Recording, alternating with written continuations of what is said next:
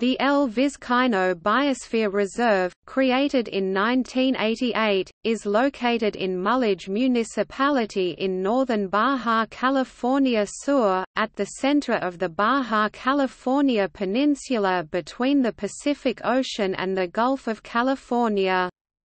With a landmass of over 9,625 square miles 24,930 square km, it is the largest wildlife refuge in Mexico and borders on the northern edge of the Val de los Cirios protected area of flora and fauna.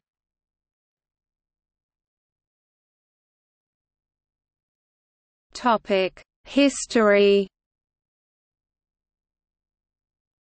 The Cochimi first inhabited this region over 11,000 years ago, nomads who came from the north of the American continent.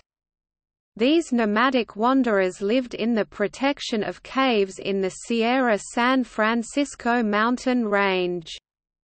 Travelers trekking into this mountainous region can still see their cave art.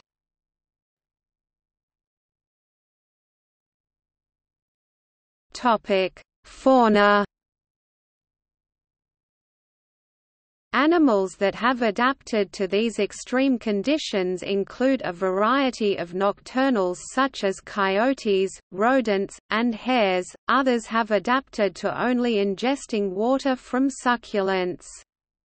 Outstanding among the mammals is the Baja California pronghorn Antilocapra americana peninsularis, an endemic subspecies of the pronghorn, which is one of the swiftest mammals on Earth. The last populations of this subspecies can be found in the region.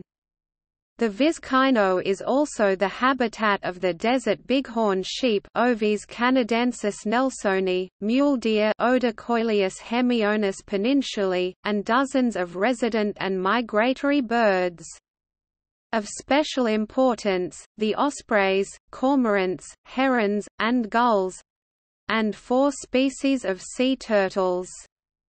On the coastline and islets there are many marine mammals, such as northern elephant seals Mirounga angustirostris, California sea lions Zalophus californianus, dolphins, and gray whales Eschrichtius robustus. View